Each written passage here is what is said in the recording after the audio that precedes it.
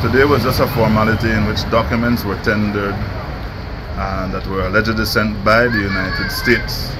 I was given an opportunity to cross-examine the consular officer that was that accepted the documents.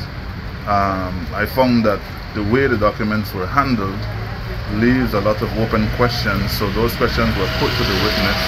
Uh, we now have um, until the 22nd of December for the Crown to uh, put in their submissions and then we have until January 22nd for me to reply and we will be back in court on January 25th to make oral arguments before the Chief Magistrate.